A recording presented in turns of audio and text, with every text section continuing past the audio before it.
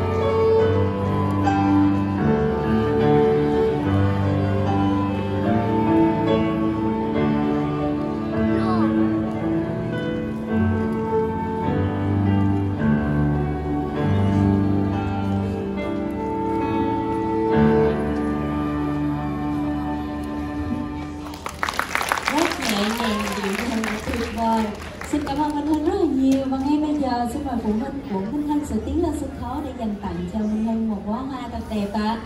và thưa quý vị quý vị có biết không đây là một cậu bé rất là yêu âm nhạc rất là yêu piano một tuần bé đã cố gắng sắp xếp để mà có thể là học 3 buổi để có thể luyện tập được những cái kỹ thuật và ngày hôm nay dành tặng cho quý vị một bản Minh Hân rất là hay à một trang